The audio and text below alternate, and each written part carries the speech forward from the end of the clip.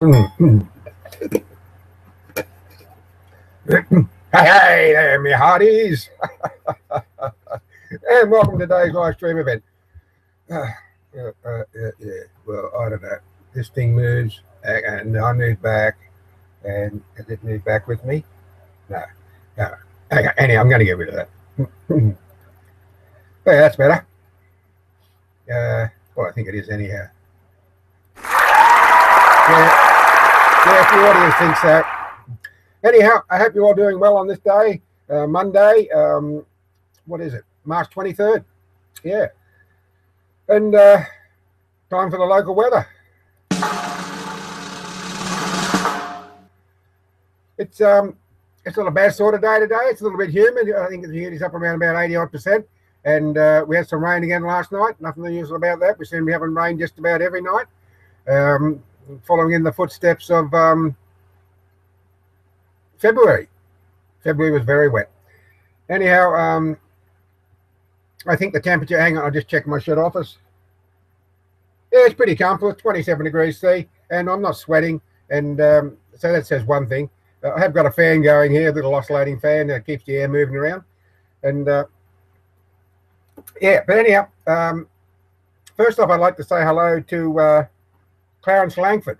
Now, he uh, he said thank you for the for the time for this live stream. Perhaps he's gonna gonna um, pop in and have a look as I on here live. And he also commented on my um, my short film uh, Emphysema Man, and saying what a joy it was to be able to breathe. Um, I got the impression that he had uh, quit smoking himself some time ago, and yes, it, uh, it, it is a it is a joy to be able to breathe properly. But uh, unfortunately for me, um, that's not the case. Um, doesn't matter, you know, it, it was irrelevant. That um, uh, my wife's coming down here now. Now that, that could be trouble. I don't know. Got to be careful with she who must be obeyed. Um, are you looking for me, dear? I'm doing a live stream at the moment. Did you want something? No, no, she didn't want anything. I had to had to be sure, you know, just in case. Um, all right, yeah. So Alan, uh, sorry, Clarence. Yeah. Um, it's just one of those things. I mean, yeah, we can do all sorts of things in our lives uh, to try and beat the odds, but let's face it, the, the, odds are really against us because you just don't know what life has in store for you. We don't. You know, you can decide not to smoke, not to drink. You can decide to exercise and and uh, eat so-called, uh, you know, all the right foods. But uh, there's no guarantees in life. Yeah, you could go to a, a, gym and you could do your workout and you could come outside and be run over by, by a car or assaulted by someone or, uh, you know, you, you, or drive home uh, from your workout and be in a bad accident and killed. You know, there's no guarantees in life except for death and taxes. That's it. Excuse me, I just got to have a sip of tea. Geez, the mug's nearly empty. It's always the way of late.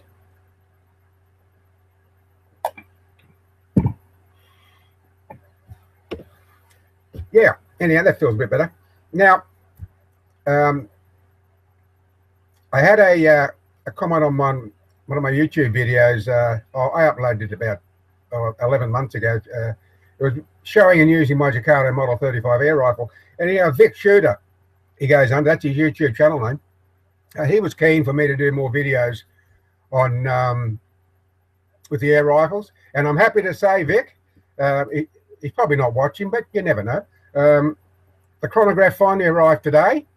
Uh, I've taken it out of the um, the box, but I haven't taken it out of the box per se, the box that it came in, uh, like the um, you know the, the box that surrounds the unit. But uh, yeah, I'm uh, when I finish this live stream, uh, unless my wife's got some other plans in mind, I'll open the box, get the chronograph out, familiarize myself with it. I'll set it up in the backyard with a suitable backdrop, and uh, I'll, I'll weigh the pellets on my uh, reloading scales, and uh, they'll be able to check out the velocity of the two, two Gecado air rifles, the Model 35 and 177, and the Gecado Model 25 and caliber 22. And uh, when I go bush, I'll be able to check out my 243 and 30 30 and a couple of the 22s. Um, because I did say in a past live stream that, you know, um, I'm a very keen hunter and shooter, have been for 50 years. I'm also a very keen inland fisherman. Um, strange though, because I live not more than uh, 5k as the crow flies um, west of the uh, South Pacific Ocean or the Tasman Sea, as it's called. And yet I'm not interested in saltwater fishing.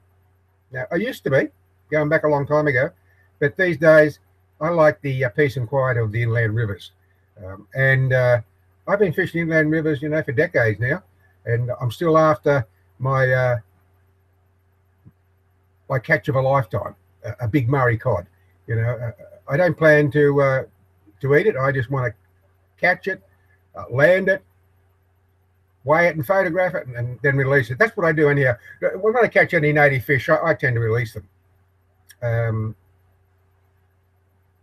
because that's the way I am. I, I, I, prefer to catch and release. Just take a few photos of them and uh, then then let them go back to the river. The only fish, of course, I don't uh, release are the much maligned carp, and um, you know, they're everywhere in inland rivers. You know, it wasn't a wonderful idea. I think it was back in 1856 that um, the the, uh, the farmers who set up um, canals to be able to water their crop decided because there was a build-up of weeds and what have you to bring in the European carp and put them in the uh, in the canals. Well, they never gave me thought that uh, when the floods come and the canals flooded, uh, well, I mean when the rains came, the big rains came, and they do, uh, that the uh, the carp would be washed out into the rivers, and that's exactly what happened. And of course, that was 1856. That's uh, what's that, 144, 100, nearly 160 years ago, and now the carp are everywhere. I mean, they're just absolutely everywhere. I've been fishing in some of the inland rivers where all you can catch is carp. You, you couldn't catch a native fish if your life depended on it. I mean, I, I, once went to an area, it was a couple of years ago.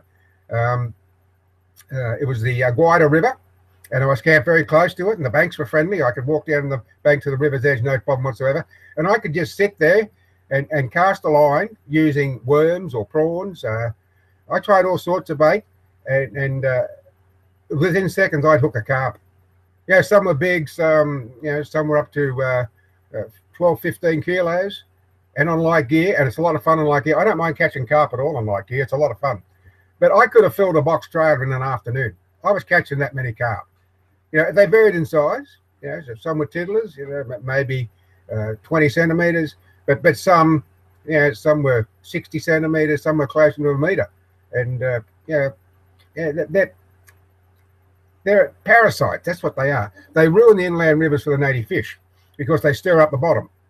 They're, they're bottom feeders, and uh, yeah, they you know they've really uh, stuffed up our inland rivers. Oh, that, that a lot of the country towns um, uh, have fishing events on a weekend, and you know oodles of people go out to them and just catch the the carp and bring them in and get rid of them. I suppose it helps. And we do have a company here in Australia called Charlie Carp.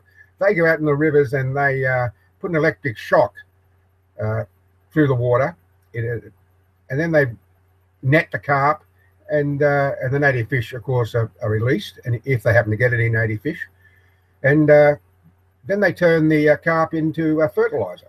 It's called Charlie Carp. It's a great idea, and uh, I think we need more people doing it. I think what we need is for the government to subsidise these folks and to encourage people to do that, um, because, as I said, um, there's just no way in the world, even with these sort of ventures, that we're ever going to get rid of the carp. I mean, it just it's just not going to happen. Because I, I, can uh, I, I can tell you firsthand that I've I've gutted some big carp, uh, a female carp, and they're just been well. I've read that they can hold up to a million eggs. I wouldn't be surprised at the massive eggs I saw in uh, some of the female carp that I've gutted. And uh, you have to bury them because um, if the birds come along and pick up the eggs on their feet. They can deposit them back in the water, and the uh, and and fry will come from those fish. And of course, the fry become bigger fish and bigger. And then they breed and breed. Yeah, they, they breed like rabbits and flies. It, it's terrible. Right now, one thing that uh, I don't like on social media is pornography. Now, I um, I'm with Google Plus. That's it. I've got my YouTube channel, and I'm with Google Plus, and I'm on Facebook. And yesterday, I make a habit every day of checking my email, checking my YouTube channel, and I get on the Google Plus and scroll the main page. Well, yesterday, Sunday, here I am just scrolling away, looking at the post, and suddenly here staring me in the face is this pornographic scene. I mean, this this livid, lucid, high definition, five second scene on a loop. Well, there's no place for pornography on social media. There's no place for it at all. Look, with YouTube, and, and Google owns YouTube. Whenever I upload a video, and it's the same with all uh, videos uploaded with all the millions of YouTube channel owners, that when you upload a video, if it doesn't pass YouTube's protocols, they'll let you know when the video has finished uploading. Oh yeah, I once did a um, a video for my first self-published novel called "Trailer for a Movie Not Yet Made," and I used the um, soundtrack from um, oh, what was it? I think it was the oh, good grief! See, my mind goes blank. I think it might have been uh, the day the Earth stood still. That's what it was. Yes, it was the prelude, the opening sequence of Day the Earth stood still, the original movie, which I might add was uh, far better than the uh, remake. Well, you know, a couple of years ago with Keanu Reeves. I mean, it wasn't a bad movie. But anyhow, I'm digressing. Um, and and they picked me up on that, so I couldn't monetize, which is fair enough. I wasn't going to monetize in there because I knew YouTube regulations, their rules. But they also told me that it would some of the content would not be uh, shown in some countries. Um, Germany is one of the main countries it wouldn't be shown in, and and uh, Germany for some reason, I mean, it has enormous um, controls over social media. Um, and it won't show um, it, it, won't allow videos that have got certain content in the country so anyhow that, that's their laws that's their regulations and so be it. But uh, yeah. So i for the first time ever reported a post. And i also wrote a, a blog about it. And um, on google plus someone told me they're called micro blogs I, I, don't really have a blog page. I did start one some time ago but um, I had poor response, I just couldn't be bothered with it. So I just micro blog, micro blog on Google Plus. But uh, I was disgusted. I mean, I watch a little bit of porn now and then, I, I, you know, just to break the monotony, so to speak. And uh, it does very little for me. Um, if that sort of thing had been around when I was a kid, you know, I'd, I'd have probably uh, ended up going blind, the saying's true, if you know what I mean. But um, now these days, I just have a look at porn now and then as a bit of a diversion. But um, there's a time and a place, and the time and place is not on any social media pages. Absolutely not. Now, you know, if someone wants to watch porn, they can get onto the onto Google and they can just type in the plethora of whatever. Just type in triple X movies, and you'll get a whole host of, of different sites. You know, what amazes me is that um, if you do that, you'll see that th this is one of uh, so many million or billion sites, whatever. I mean, it's incredible the amount of porn that's out there. But I'm not surprised because you know porn's big business. Yeah, it's a it's a multi-billion-dollar industry, and uh, sex always sells. Sex always has, but it, it doesn't belong on social media. Now, when is Google going to pull their finger out and do something about it? Now I started, mm, pardon me for sniffing. I started a, um, what you call a petition on Google Plus, uh, where a plus, which is a which is a like, um, was a was people's signature. Now I haven't got. I, I think I've maybe I've got one like or one plus, but that's atypical. You know, people are so apathetic these days about things. I did the same on Facebook last year, I started a dedicated page on Facebook, uh, a petition against uh, bullying, harassment, and abuse. Bullying, abuse, and harassment, BAH, B-A-H. And uh, where I requested um, fellow Facebookers to give a like to be their signature. And uh, I got a lousy 33 likes in about four months. And I boosted posts. Now, I said this before on a previous live stream and I got a lousy 33 likes and some other um, ban the fur trade, say the furry animal type of thing, uh, which uses the, a fox as an avatar. A fox. A fox, for goodness sake. And uh, they got something like a quarter of a million or more likes, which, well, it just spoke volumes to me. It says, what looks like people care more about furry little animals than they do about the safety of their own children. I know that's not true, but that's how it seemed to me. Now that's a bit of a tragedy, isn't it? And it's going on all the time. You know, it's going on all the time. There's nothing new about bullying. You know, I saw it when I went in uh, primary school. I saw it when I was in high school. Um, fortunately, I was always able to take care of myself. And when someone tried it on me, well, I retaliated, and that was the end of it. But unfortunately, with social media, uh, kids these days can be bullied on cyberspace, and uh, pictures of them can be posted, and uh, so on and so forth. And it's it, it's a profound tragedy that some young folk are committing suicide because of this bullying. It's just not right. You know, the tight time. I don't know what Facebook can do about. It. I don't know what all social media can do about that sort of thing, um, unless you have like YouTube three strikes and you're out. You know, but you've got to report it. But that comes back to pornography, and I was saying with YouTube. If YouTube can censor videos as soon as they're uploaded, and there are millions uploaded every day, and because Google owns YouTube, why can't Google Plus do the same? Why can't Google, and these videos have to be uploaded. I know I've uploaded videos on Google Plus myself, and depending on the length of the video, that it can take quite some time. But you know, a five second video, high definition, might only take a couple of minutes to upload and process. Why can't they then censor it? If they can do it on YouTube, why can't they do it on Google Plus? I don't know. Just doesn't make sense to me. And here's another thing I, I doesn't make sense to me on Google Plus. Why don't they have emoticons? I love emoticons. I love all the little smiley face and all the little the little icons you can get. They're great. Yeah, Facebook's got a whole mess of them. And uh, there is some section on um, somewhere on Google that you can add emoticons, but on Google Plus you can't. Why isn't it there? You know, I, I don't understand it. Anyhow, but it, as I say, I miss my emoticons. I think a lot of people would like emoticons on Google Plus, and uh, so maybe one day uh, um, they might wake up to themselves Google and put it on Google Plus. oh, excuse me, a bit bit dry in the throat. Yeah. Now, um, I uploaded a video yesterday. It was only a very short video, 20 minutes. Uh, 20 minutes. Dummy.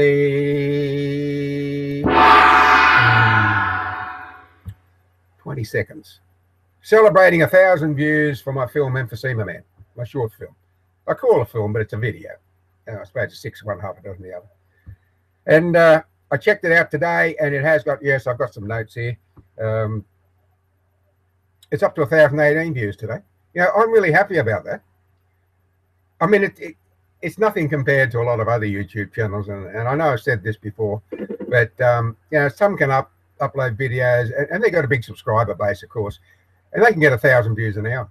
I mean, that would be wonderful. But when you've only got 33 subscribers, that sort of thing doesn't happen.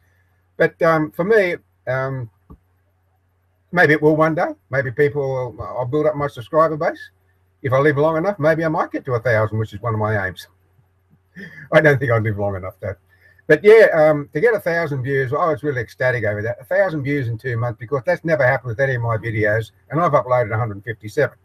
Of late, a lot of them have been these live streams get automatically uploaded to YouTube. Um, I originally thought that I'd uh, I'd have to download them and edit them and upload them, but then I found out that they went straight on the Google uh, on the YouTube. So I decided, well, what the hey, I'm not going to be bothered editing them.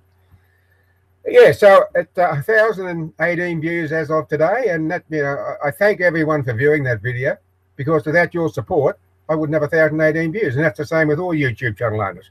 If if people didn't view their videos, well, they'd have no views. that makes sense, doesn't it? uh, yeah, yeah, that's all. I didn't mean to do that. I left the I, I left the uh, what's the name the pointer on the damn thing and anyhow, yeah. And I also checked um, uh, crutching sheep in an Aussie shearing shed was my first video to get a thousand views, but it's been uh, there for seven months. And at the moment, it's still getting views. It's on a thousand and forty-five. And uh, another video I uploaded, as I said, a Gecado air rifle, and uh, showing my Model 35 and, and, and one-shot demo well, that's uh, that's up to 956 views. That's in 11 months. And uh, but you know, I, am happy with that. I'm only a very small channel. Like I said, I've got 33 subscribers, and I've you know, I got about 8,300 lifetime views. It, it, it's a nothing. But I keep trying because I enjoy doing it. I enjoy making videos, and it keeps my mind active. You know, I really am concerned that the way my mind's been drifting north of normal of late, that I might be suffering onset, early onset Alzheimer's. Geez, I hope not. I hope not because I got a lot of things I want to do. I might suffer from emphysema. I might things, you know, I might find things tough going, but um, there's still a lot of things I want to do, and uh, one of them is to continue with my YouTube channel because I love YouTube. I love it because it's um, it's so diverse. It um, it covers every subject from A to Z. That as far as tutorials go, you can learn anything on YouTube. You know, as I said, I'm uh, I do a bit of welding. I'm not a welder. I'm just someone who welds, and I'm basically self-taught. But if oh, oh, excuse me. But if I want to, um, if I'm not sure about something, I'll just get onto Google, uh, onto YouTube, and um, I can find out whatever one it is as far as welding goes, or anything else. You know, no matter what it is you want to do. There's tutorials there for everyone. And a lot of are first class tutorials too. Um, I've been thinking about that maybe I should start putting some um, post or, or um, some links to some of my favorite YouTube channels. I, I subscribe to about 100 YouTube channels. And, uh, you know, there's things from photography, from um, uh, welding, and from plasma cutting, and um, uh, all, all sorts of things. And uh, I think there may be time I just started putting some uh, some links there with some of my favorite YouTube channels. I might do that. I told my son about one last night. Uh, I'm a I'm a, not a photographer. I'm just someone who bloody, pardon my French. I'm just someone who um, takes pictures. Well, I record video more than I take pictures, but I'm not a photographer. I'm just someone who uses a camera or cameras. But I told my son of a, a very good YouTube channel by the name of Tony Northrup. Uh, th- this guy is awesome. God, this guy really knows his stuff. You know, I'd recommend him to anyone. Tony Northrup, and, and often he's got his wife Chelsea with him as well. Yeah, that he himself, um, he's one real cool dude. He, he can present a 45, 50 minute video and he rarely ums or ahs. You know, he, everything flows off his tongue, he, and he's he's absolutely brilliant. I mean, this guy really knows his stuff. I know there are a lot of people on YouTube who know their stuff, but oh, this guy really impresses me. I'm in awe of the man. I really am. And uh, what he most of what he talks about to me is gobbledygook. And uh, I, I, I sent a comment to him about that once, and uh, and he replied and and and, and he, he said that because I asked him if all that stuff just came out of his head or he wrote a script, and he said no. He said my, my head's full of it. And I did comment on a recent video of his and said a more, more gobbledygook Tony, but it's interesting gobbledygook nonetheless. And I, you know, I asked him why it was that he, he didn't um and ah and never got tongue tied. And I said, um, you know, is it because you're young or younger than me at 67? And, uh, or, or, what is it? And he said, he said, thanks, John. He said, I think it's, uh, uh, it's beer, beer and bacon. beer and bacon was his reply that kept him um, kept his mind livid, uh, lucid. Yeah, potassium nitrate or saltpeter, hops and uh, yeast. Yeah, that must be it, I said in the reply. Yeah. Oh, dear. Excuse me, I just have another sip of tea. No, I better have a sip of water instead because there's mostly tea leaves in the mug. And if I, if I swallow a tea leaf, I'll be coughing my head off. You don't want to hear that, do you? No. Oh, well, um, yeah, I normally got the time down here. Now, for some reason, last night I, I touched a tab uh, that I obviously shouldn't have touched because it completely changed my Google Play page, main page. Now, normally I've got it's got Google up here, and it's got a, a long extended uh, rectangle with the with the cursor in it, and it's got all my little uh, squares. You know, the the one that you click on channels you go to often. Well, the damn thing just went, and then this grey screen came up, and, and, and, I've lost all the icons down the bottom. Normally here I've got uh, um, my um, emails and um, so on and so forth. Now it's been replaced with something that's got Google on um, Gmail, a G for, for Google Docs and something else in YouTube. And way over here on the right, it's got the time. Well, that's not the way it used to be, and I don't like it this way. So once again, I have to get my uh, very brilliant uh, elder boy in tonight and say, Derek, can you please fix this up for me? Tell you what, it's handy to have someone who's uh, who knows their way around a computer. You know, I look at what he does and it just amazes me what he knows.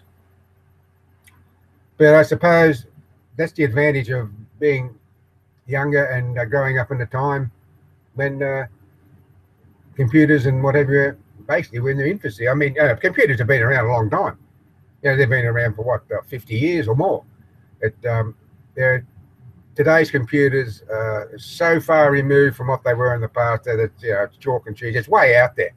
Yeah, you know, it's like the moon, comparing the moon to the earth. It's just, that's how that's different to it today. And, and I get, you know, I get frustrated with it at times. I really get frustrated with um, with modern technology even though I love it. I love all the gizmos and gadgets. I really do. Look, I've got an iPad here. I bought it, oh, it might have been three or four years ago, and I've really used it. I even bought a book on dummies, how to use the damn thing, and, and I haven't even read the book.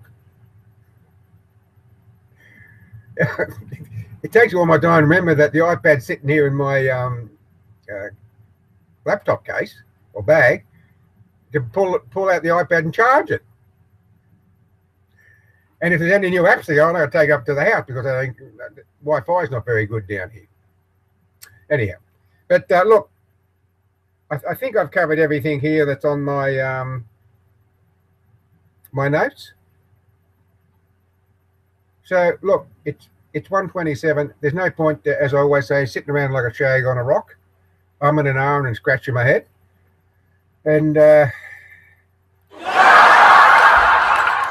I, I, like these. These are the special effects, the sound effects that you get on uh, on these live streams. you know, yeah.